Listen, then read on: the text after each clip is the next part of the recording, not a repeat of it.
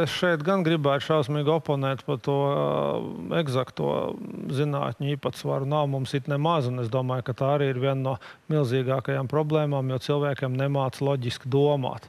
Un, protams, par uh, to saturu, sociālajām zinā, zinībām, kas ir mācību programmās, un viņas tiešām ir ārkārtīgi daudz. Tas droši vien ir cits jautājums, ko un kādā veidā tie skolotāji iemācās un kāda ir paša skolotāja kvalitāte. Un neapšaubām tur nu, prasās pēc, pēc milzīgiem uzlabojumiem.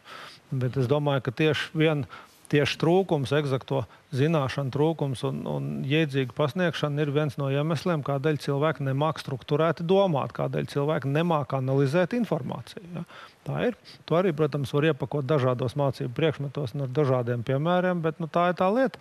Un tad rezultātā nu, veidojas tas vadonisms. Ja? Cilvēks kopumā ir tendēts ticēt draugam vai tendēts ticēt kādam, ko viņš pazīst, vai viedokļu līderim. Un tad savukārt, ja tev iztrūks šī te loģiskā domāšana un analīzes spēja, tad tev vajag vadoni. Tas, kurš pēc iespējas kaismīgāk tev stāsta, tam arī ir taisnība. Un tā veidojās nu, dažādas, dažādas blēņas. Ja? Tā veidojās un no turienes veidojās uh, visāda veida viltus pravieši, dziednieki. Uh, Vai dieniņi sauciet, sauciet, ko gribiet. Ja tur ir antivakcinētāji un plakanās zemes. Nu, tam nav nekāda sakara ar loģisko domāšanu, bet ar to, ka ir kāds vadonis, kam tu tici un kas tev ir spēj, spēj ieliet tavā galvā visbriesmīgākās blēņas, un tu tām nekritiski tici. Tā ir milzīga nelaime patiesībā.